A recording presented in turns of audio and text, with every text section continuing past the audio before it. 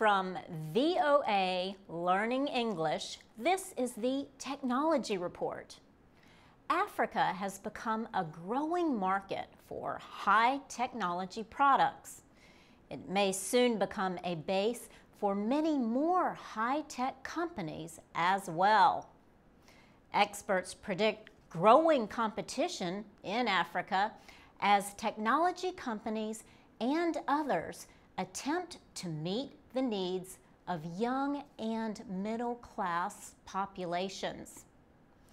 DHL calls itself the logistics company for the world. Logistics is the process of planning complex activities involving people and resources. DHL provides transportation by train, road, sea, and air. The company sees Africa as a place where its business can expand. But for that to happen, more international companies will need to invest and set up operations there. Sumesh Rahavendra is with DHL.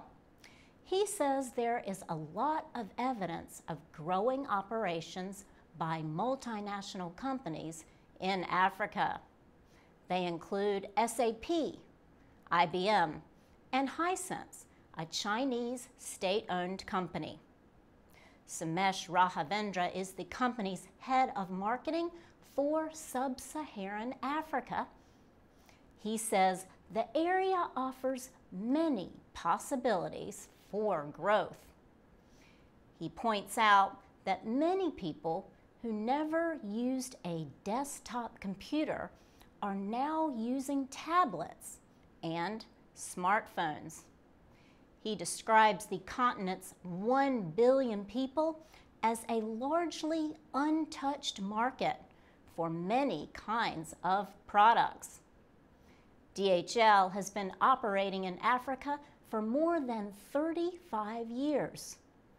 Sumesh Rahavendra predicts that as more and more companies set up operations in Africa, DHL's business will increase. DHL says Africa is now the world's second largest mobile technology market by connections after Asia. In addition, it is the fastest growing mobile communications market in the world. For VOA Learning English, I'm Laurel Bowman.